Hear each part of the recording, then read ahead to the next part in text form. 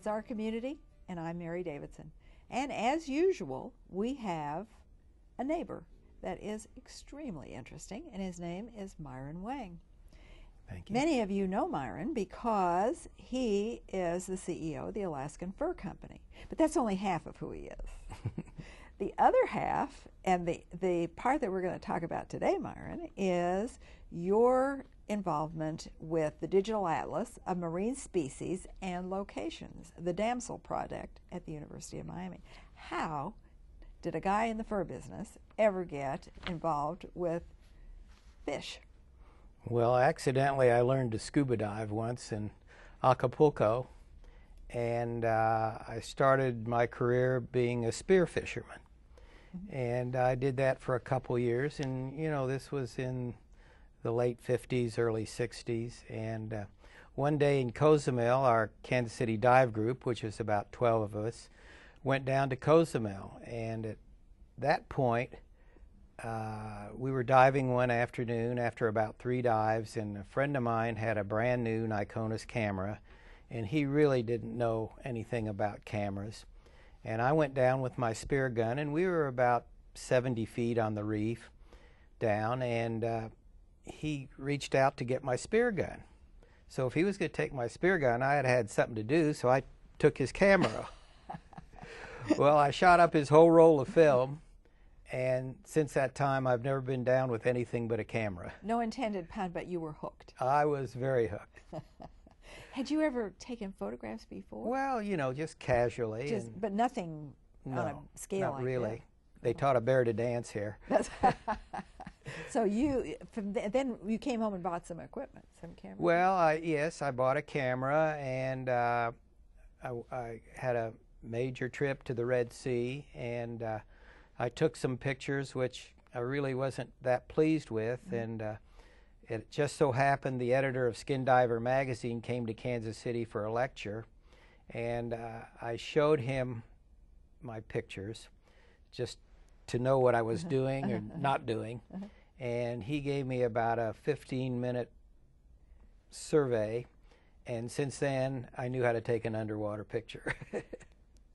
he must have been a very good teacher. He was a very good teacher. but the upshot of this thing is that from this taking a camera off of your friend's neck, you donated 5,000 images to the University of Miami. These, now, these are all fish, you have to understand. Well, fish, coral. Yeah, but undersea, undersea things. Mm -hmm. Under, under everything. 5,000. And these are all slides. All slides, mm -hmm. and they have to be converted and scanned mm-hmm. to put on the internet, to put on the digital and, base. And uh, yeah, and these are these look like some of this is a shark, and and you have several. These are beautiful. Thank you. I mean, getting these guys to stand still long enough to take their picture is not an easy thing. Oh well, it's you know I always relate it to sports photography. Uh-huh you have to be there at the right time because it doesn't happen again.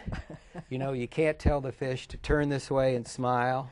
He's more apt to give you his tail than his face. Than his face. So and of that, but of that 5,000, this is not an easy process. Only a, about a thousand of them have been scanned in to the database um, of DAMSEL. It's a lot of work, and I have about six students a year that work on the project. Not full time, but you know they they do it as uh, for credit for their, uh, they're mostly masters and doctorates working on the project. And they do the science, they do the scanning of the slides and uh, the indexing of the numbers. We started originally with the librarian, and everything had to yeah. be indexed. You know how librarians but, but we can all go to this website at it's damsel d a m s l dot org. Org and you'll see and, but it's not just a series of pretty fish pictures because everything is um, formatted in the darwinian right. style which it's, is it's all encyclopedic content so it's really a digital book if you want to see a picture of a myers butterfly fish you just go to butterfly fish and you take your cursor and you put on butterfly fish and 20 or 30 butterfly fish will come up and you find the one you want, you put your cursor on it, and it enlarges it. And underneath that is all the encyclopedic Darwinian content. It's the name, the genus, the family, uh, where it was shot, what country, what body of water. Uh, we get it down to the lat long, like Darwin did. That's really interesting. When you started spearfishing, did you know a lot about the fish? I mean, you're um, you could be an ichthyologist if you really wanted to be. I mean, well, but at I that kind of am. well, see, but at that point, did you know a lot about the fish you were spearing, or did you just? yes, I knew what I what what you ate and what you didn't eat. Yeah, well, that's that's always good to know. Yes, Right. yes. But other than that, I mean, you weren't uh, anywhere near oh no, where you are. no, because I'd only been to one or two bodies of water at that time, and uh, uh, Cozumel was uh, uh, the first real major league place we went because it was clear and uh, equatorial waters. And You told uh, me you didn't do cold. No, I don't do cold. I don't go to the North Pole and go under the ice cap. Well, the reason he said he didn't do cold because I asked him. I said, "Have you ever been to uh, the North Sea or you know?" He said, "I don't do cold." so those fish are sadly lacking up there. Exactly, and they're not that many. You know, the hot spots of the world are where the abundance of the animals are, and those are around the equator, uh, around New Guinea, the Philippines, uh, Australia, the Seychelles, all those exotic places that you've probably never been to, and I had never been to before. But that's where the abundance of species are. Uh, maybe four to ten thousand species versus three or four hundred somewhere. Well, a lot of somewhere. the fish don't do cold then. no, no. a and the pretty ones, the pretty ones definitely don't. They're, no, they're the pretty warm- ones are on the reef, That's right. sunbathing. But this has this has evolved into more than a hobby because you um, have a had or have, I guess you still have a picture agent. Now, what is a picture agent? Well, a picture agent is a person. Well, I don't have many more since I made the gift I see. to the University of Miami, the Marine Science School, the Rosenstiel Marine Science School, and Atmosphere. Uh, a picture agent is a person who you send your pictures to, your slides. They duplicate them. This one agency I did called Image Bank in New York probably had uh, 50 or 100 agencies around the world. I mean, I got checks that were sold in France and Italy. You know, they were sold mostly to advertising agencies or book. Who needed a pretty fish picture? Yeah, exactly. Yeah, yeah. And uh, that went on for about 20 years. And then I had uh, decorators and designers that sold my pictures for homes, schools, Now, libraries. those were blown up photographs, though. blown up photographs, and I had a special museum box mount, which was pretty unique. Uh, they weren't in a frame as such; they were on a box mount. And uh, I had one in uh, the East Coast, one on the West Coast, and one in Florida, and they they sold a lot of pictures. And uh, I always donated the money somewhere, you know. So that was how we got started, and I did Hallmark's work for about 25 years. I did undersea calendars. When you when you let's talk about when Hallmark. How did how did they how did you decide what did they come to you and say we need a fish picture that's blue or we want how did you make the conversation work so that they knew what so you knew what they wanted? Well, they were buying photographs from a picture agent like mine oh, I see. at the time. And I came up and I said, Well, you know, I can give you more variety, make it easy. I live right here. five miles away. Uh, when I come back from a dive trip, I'll bring you up my best pictures and you just select them. Well, that got into cards, it got into note cards, it got into uh, uh, calendars, puzzles, all kinds of things that they use my pictures for. But I think the the most uh, unique pictures I ever sold them, sold Hallmark, was one day the the picture uh, agent there said to me, Myron, can you take a picture above water? And I said, I said, I think I'm I not sure. I think I can. And she says, Well, I know you're going to the Red Sea, and you told me you were going to spend five days in Jerusalem after your dive trip, and I need a picture of the Garden of Gethsemane, and I need a picture of uh, this reconstructed Jewish synagogue, and I need uh, an ancient synagogue, and I need a picture of the Church of the Holy Sepulchre. Well, I photographed away and uh, brought all these pictures back that I'd shot, and I ended up with a New Year's card, Jewish New Year's card, Christian New Year's card, and a uh, picture of the Holy Sepulchre, which uh, went for no, that Garden of Gethsemane went for the Easter card. Isn't that interesting? Yeah. I want to talk. Is it different to photograph out of water than it is in the water? Oh yes. Well, do you need a different whole setup, a camera setup? or- Well, actually, I use the same camera, but underwater I put it in a housing, well, and I have two yeah, so it doesn't strobes. Yeah. and it's pressure proofed. I've been down to three hundred feet with the camera, and it's uh, very safe if you have a good housing and you maintain it properly. Above water, you just take it out of the housing and shoot it like so any it's other the same camera. technique, basically, that you use. Right. Yeah. But you know, you have so many elements underwater, like current, cold, poor visibility sometimes, great visibility other times. You know, so you have a lot of other factors to deal with underwater than you do above water. I know you worked with Jacques Cousteau. Yes, I did. What kind of a guy was he? Oh, he was a wonderful guy. Uh, I was in his office up in New York at World Publishing, and he had just bought a bunch of my pictures for his 20 volume encyclopedia. And uh, I was sitting in his office just like you and I are sitting here. And he put his hands over his eyes and bent his head down and looked at me and it said, How can I have an underwater photographer from Missouri? in his little French accent. I can't duplicate that accent. But we both laughed. How did he know? How did you make that contact with him? Well, I met him the year before he did a speech here at Rockhurst. And I went to see him, being an underwater enthusiast. I went to see him and I introduced myself. And he said, Next time you're in New York, uh, I told him my credentials. And he said, Next time you're in New York, come up to World Publishing in my office. And we actually made a date because he's not there all the time, you know.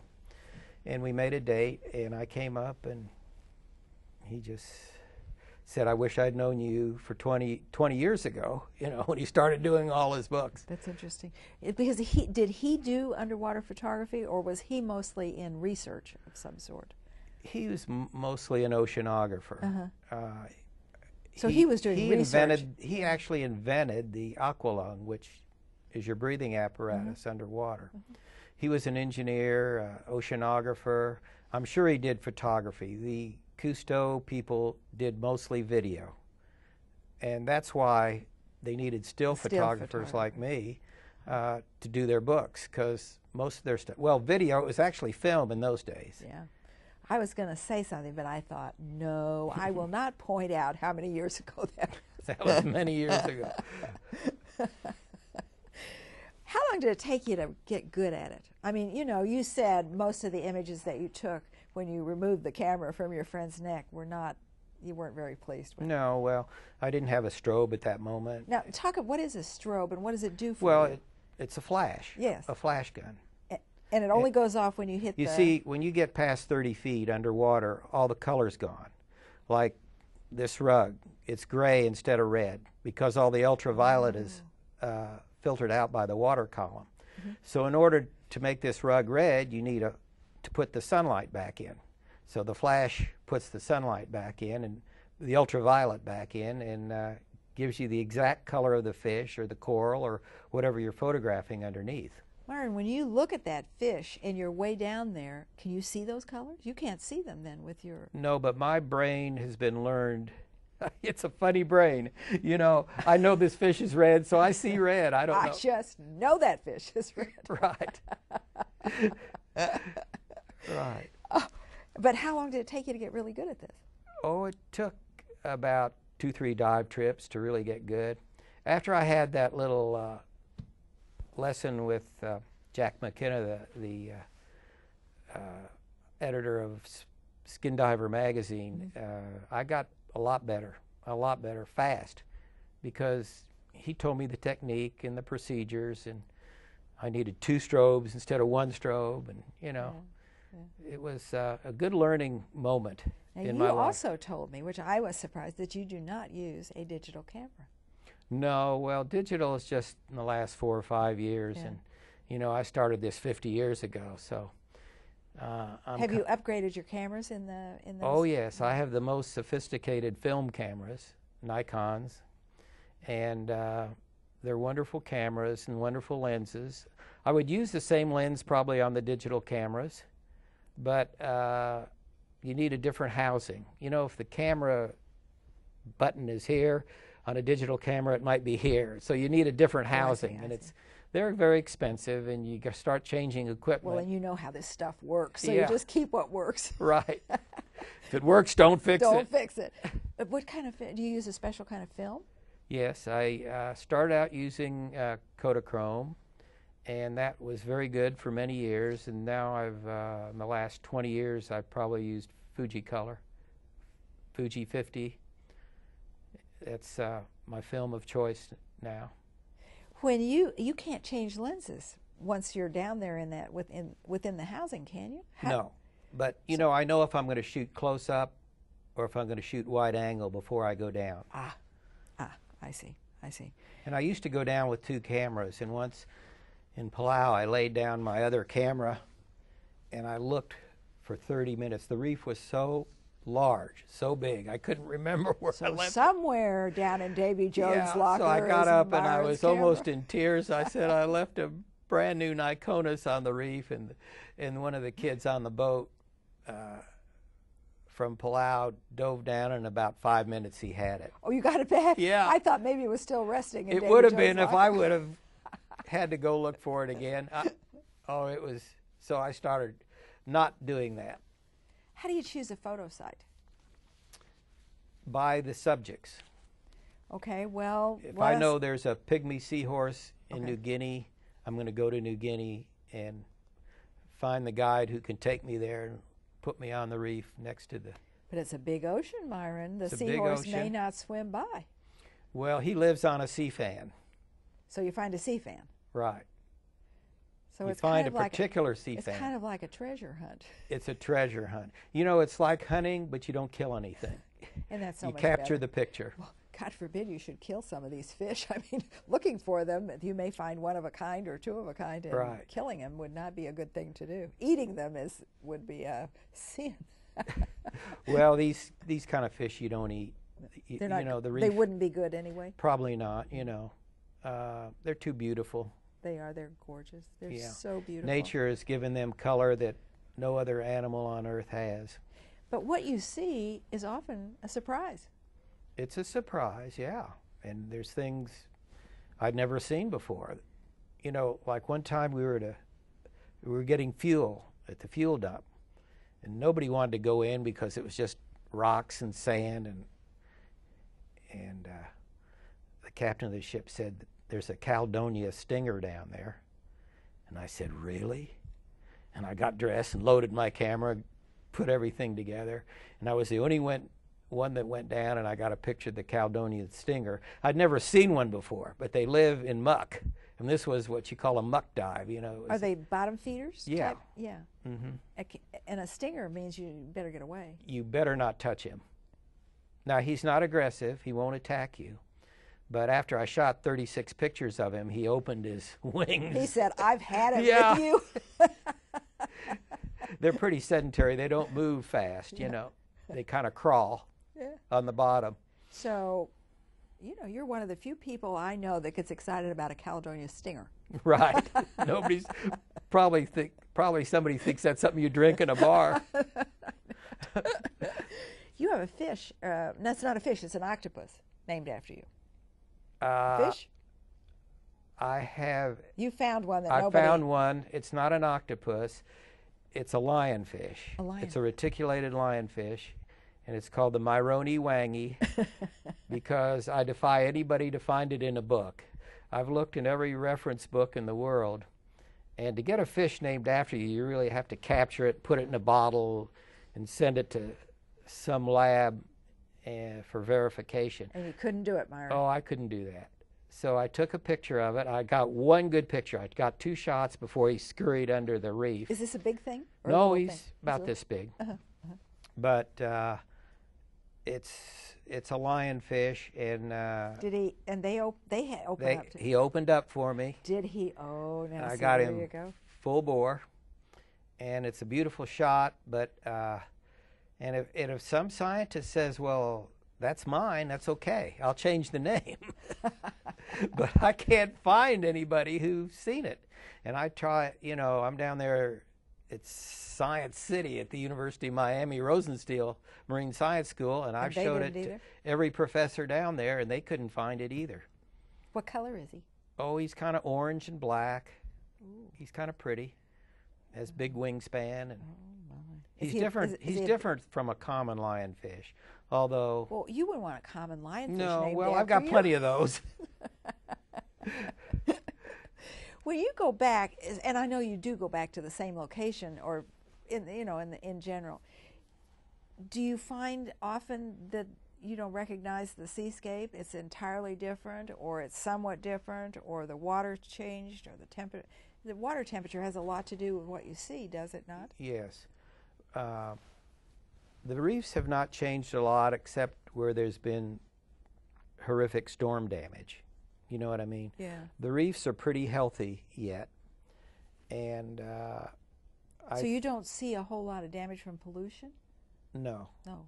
No, there's not much pollution out in the South Pacific. Yeah. Uh, where I shoot mostly are the Seychelles or Indonesia, places like that.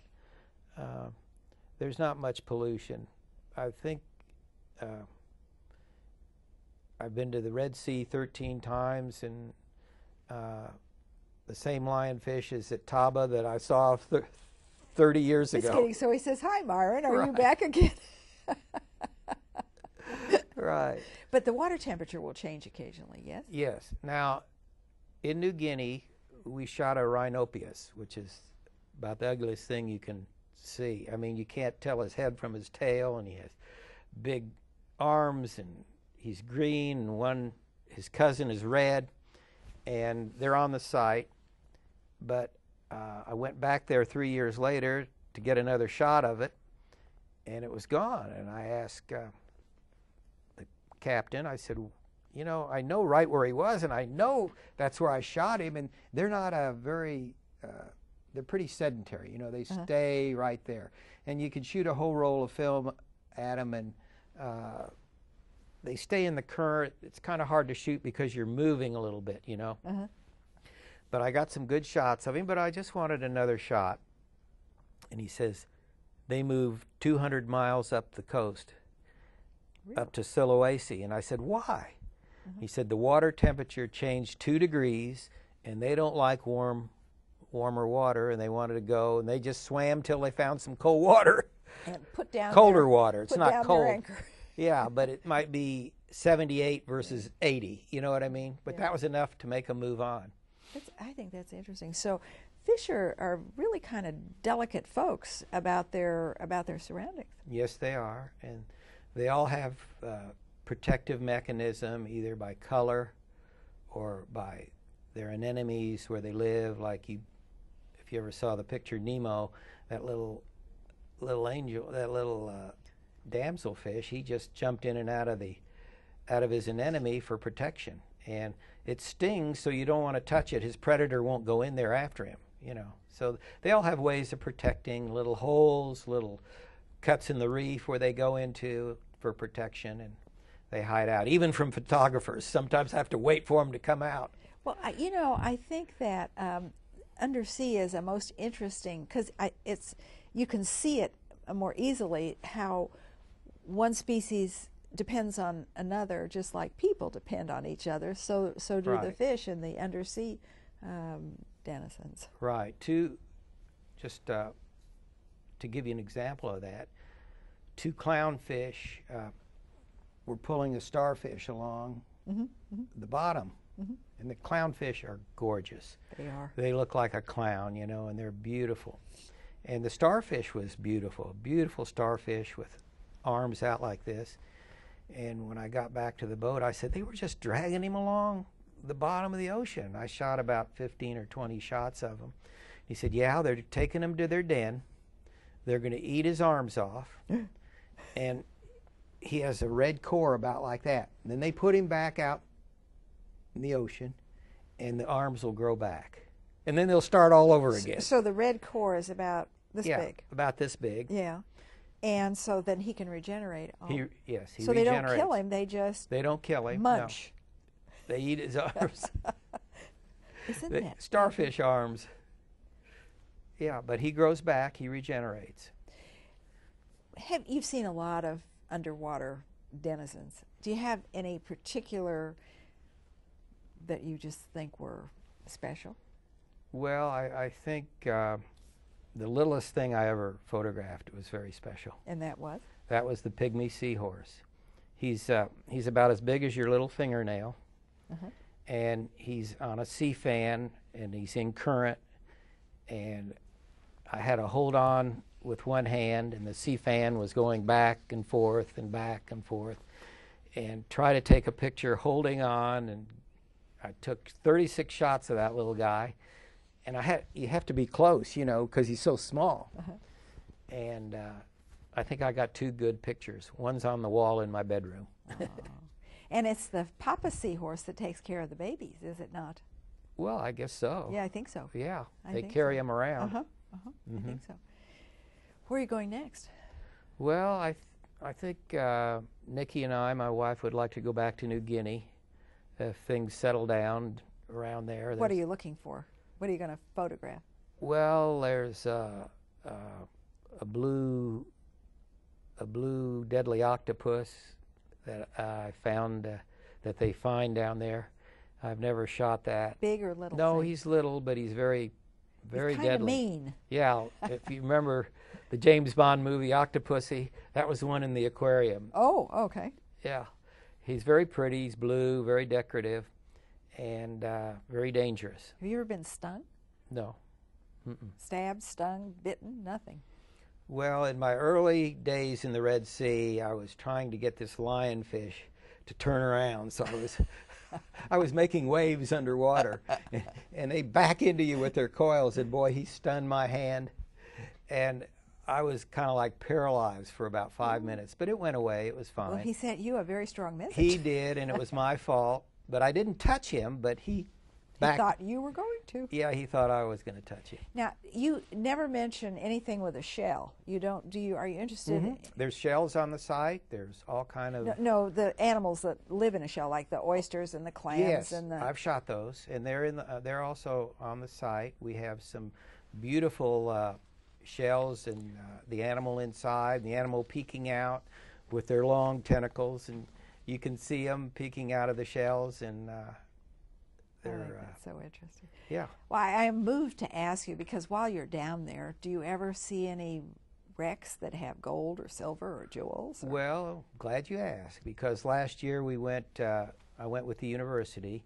Uh, my professor, uh, John Gifford, is a marine archaeologist. He's my liaison at the university, and uh, he asked me to go to Bermuda with him and photograph some archaeological sites, some wrecks in the Bermuda Triangle. And uh, of course, I just hopped on that. I'm not really a wreck photographer, but I, I enjoyed going down and with my wide angle lens and uh, shooting the parts of the wreck. Some of them are 200 years old and they're just scattered all over the bottom. But so- you didn't find anything. No, I shot boilers and Oh. nameplates. Oh, that we can't use that. But I, but as I say, thank you to Myron Wang for for coming and sharing with us his wonderful hobby that has turned into a much more than that. Um, I'm reminded of the poem that we're going. To, we want to go down to the sea again, to the gull's way and the whale's way, like the wind's like a whetted knife. And I know that you're on your way. So I would say to you, thank you, Myron. Fair winds and following seas. Thank you. We'll see you soon. It was a pleasure being here. Thank you so much for being with us. We'll see you soon again, too, because it's our community, and I'm Mary Davidson. Bye.